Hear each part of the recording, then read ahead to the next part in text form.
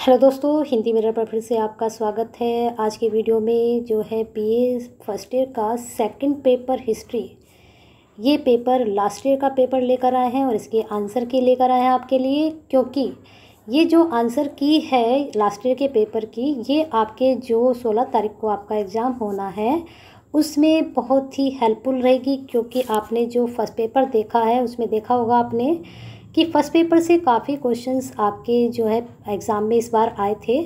तो second paper की आपकी आंसर की लेकर आई हूँ। वैसे तो स्टूडेंट आजकल जो है अपना आप से ही कर लेते हैं सब कुछ। सर्च आजकल गूगल पे सब मिलता है, लेकिन फिर भी आप मैच कर लीजिए मुझसे। और मैंने काफ़ी मतलब ऑथेंटिक उससे आपके लिए जितने हिस्ट्री के प्रोफेसर हैं, उनसे पूछकर आपकी ये जो है सबने हमने मिलकर ये प्रोफेसर ने आपकी हिस्ट्री की बनाई है। लेकिन फिर भी आंसर में कहीं मिस्टेक हुई या कोई आपको लगता है कि इसका आंसर दूसरा होना चाहिए तो आप कमेंट बॉक्स में बता सकते हैं विद प्रूफ, ठीक है?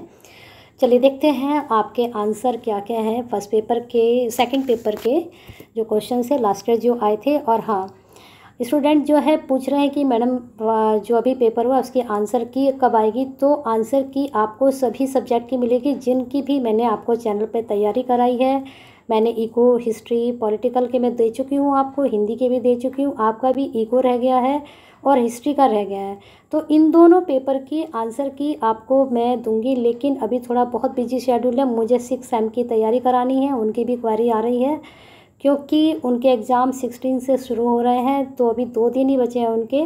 और आपने देखा होगा कि अभी इंग्लिश के मैंने स्क्रीनशॉट लेकर डाला है जोग्राफी का, और उसमें भी आप लोग बोलते हो कि मैडम ब्लर आ रहा है।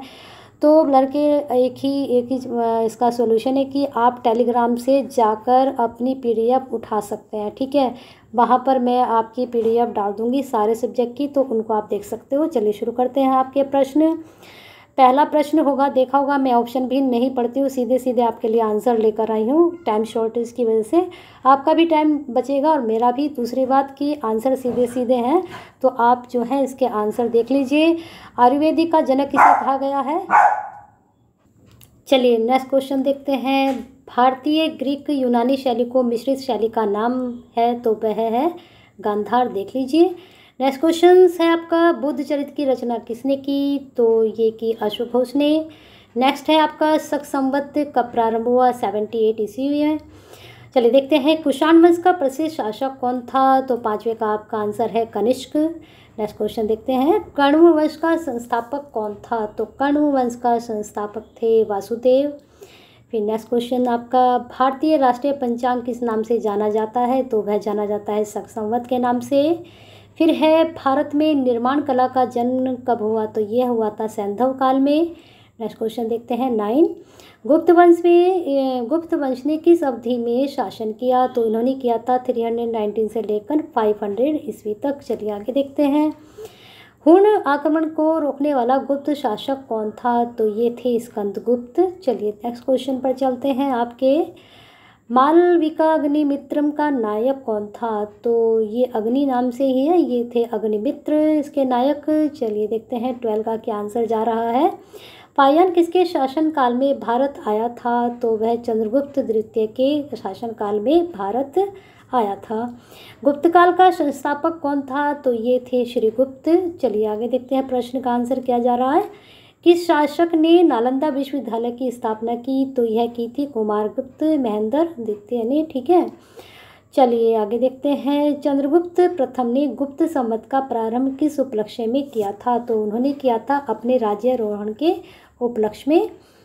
चलिए अगला क्वेश्चन देखते हैं, क्या है? गुप्तकालीन शासन प्रणाली किस प्रकार की थी? तो यह थी राजतंत्रात्मक, ठीक है? वी एस स्मिथ ने किसको भारत का नेपोलियन कहा है? तो उन्होंने समुद्रगुप्त को कहा है। ये प्रश्न वेरी इंपॉर्टेंट है आपका। शकों का उन्मूलन किसने किया? तो उनका उन्मूलन चंद्रगुप्त द्वितीय ने किया था। नेक्स्ट क्वेश्चन है, सर, गुप्तों की सरकारी भाषा क्या थी? तो जो गुप्त थे, उनकी सरकारी भाषा संस्कृत थी। चलिए देखते हैं नेक्स्ट क्वेश्चन क्या कहता है? भारतीय विद्वान जिसने गणित को अलग अलग विषय के रूप में स्थापित किया। तो ये कौन थे? ये थे ब्रह्मगुप्त, है ना? अब चलते हैं आपके question number twenty one. Prayag Prashasti का लेखक कौन था? तो प्रयाग प्रशस्ति के लेखक हरिशन थे।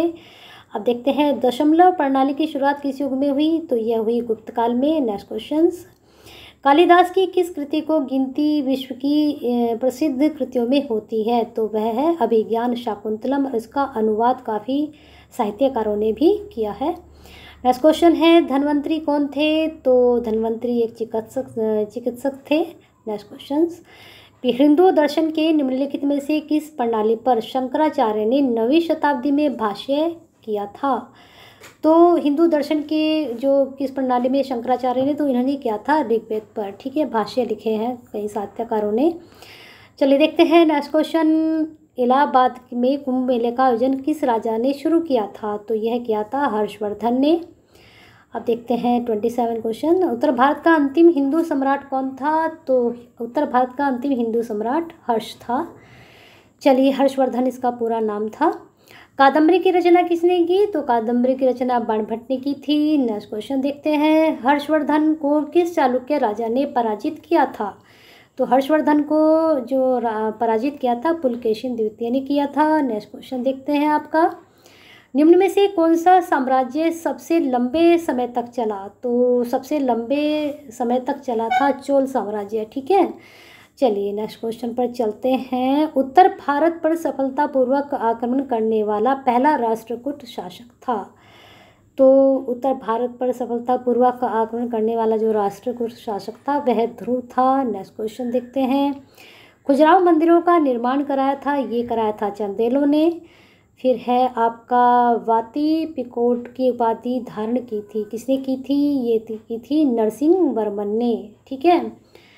फिर है अलवार संत थे। कैसे संत थे? वे होशियार थे वाशाक थे। तो अलवार जो थे, वैष्णव संत थे। और अलवार कितने थे? इनकी संख्या कितनी थी? ये भी आपको पता होना चाहिए।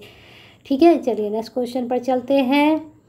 और अलवार का एक और नाम भी है। इनको और क्या कहा जाता है वो भी आप पढ़िए। पृथ्वीराज रासो ग्रंथ की रचना की थी चंद्रप्रदाई ने की थी और ये पूरी नहीं कर पाए थे पृथ्वीराज रासो को तो इनके पुत्र थे जल्लड़ तो उन्होंने इसको पूरा किया था। चलिए नेक्स्ट क्वेश्चन पर चलते हैं। पर नाम इन्हीं का आता है कि ग्रंथ की रचना की, लेकिन आपसे अगर प्रश्न पूछा जाता है कि जो पृथ्वीराज रासो है, वह किसने पूरा किया था तो वहाँ पर जल्लड़ का नाम आता है। इनका पुत्र था जल्लड़ इनकी मृत्यु हो चुकी थी ना। चलिए नेक्स्ट क्वेश्चन पर चलते हैं। चालुक्य मूर्ति कला को किस नाम से जाना जाता है? तो जो चालुक्य मूर्ति कला है, उसे आंध्र कर्नाटक शैली के नाम से जाना जाता है। नेक्स्ट क्वेश्चन है, संगम काल की भाषा थी। संगम काल की भाषा थी तमिल। अच्छे से पढ़ लीजिए ये प्रश्न। नेक्स्ट क्वेश्चन है, लाल चेर के नाम से प्रसिद्ध वह चेर शासक कौन था, जिसने प्रश्न को ध्यान से पढ़ा करो आप, ठीक है? कणगी के मंदिर का निर्माण पत्नी कराया था निर्माण पत्नी कराया था तो वह है शेन गुट्ट वन ठीक है, बड़ा अजीब सा नाम है। चलिए नेक्स्ट क्वेश्चन पे चलते हैं। तमिल ग्रंथ जीवक चिंतामणि किससे संबंधित है? तमिल ग्रंथ बीजक के बारे जीवक की चिंतामणि किससे संबंधित है? तो ये है जैन से संबंधित। नेक्स्ट क्वेश्चन देखते हैं आपका फोर्टी फाइव तमिल काव्य का इलियड किसे कहा जाता है? इलियड इलियड या इलियट? इलियट होना चाहिए। चलिए देखते हैं शिल्पादि कारम को, ठीक है, इलियट। चलिए नेक्स्ट क्वेश्चन पर चलते हैं, इलियट दे रखा है यहाँ पर। चलिए नेक्स्ट क्वेश्चन देखते हैं, आपका ब्राह्मणवादी हिंदूवाद का पुनर्जीवित किया गया था। यहाँ पर मैंने देखा है क्वेश्चन जो हिस्ट्री में बन रहे हैं कुछ कुछ हिंदी साहित्य से भी प्रश्न बन रहे हैं यहाँ पर। क्योंकि हमारे जो ह्यूमनिटीज़ के सब्जेक्ट होते हैं, चाहे वह पॉली हो, चाहे आपका हिस्ट्री हो, चाहे आपका हिंदी हो इको थोड़ा अलग हो जाता है, लेकिन पॉलिटिकल, हिस्ट्री और आपका सोशलॉजी और हिंदी, ये चार सब्जेक्ट ऐसे होते हैं, ये थोड़ा मिले जुले होते हैं। आपस में इनका कहीं ना कहीं कनेक्शन जुड़ा होता है, प्रश्न बनते ही हैं। अब ये जो प्रश्न मैं आज करा रही हूँ, ये शंकराचार्य, आपका अलवार, ये सारे वैष्णव, ये सब हिंदी साहित्य के टॉपिक हैं, है ना? चलिए आगे चलते हैं। ब्राह्मणवादी हिंदूवाद को पुनर्जीवित किया था तो यह शंकराचार्य ने किया था। ये टॉपिक आपको हिंदी में भी पढ़ने के लिए मिल जाएँगे। मिहिर भोज पुत्र था, किसका था तो इसमें सही विकल्प नहीं दिया गया है। सही विकल्प जो है, राम भद्र है, ठीक है? ये क्वेश्चन ही गलत है तो चेक कर लेना आप इसको। बाकी फिर है, राजपूत राजवंशों में प्रथम वंश वंश था किसका था? गुर्जर प्रतिहार का।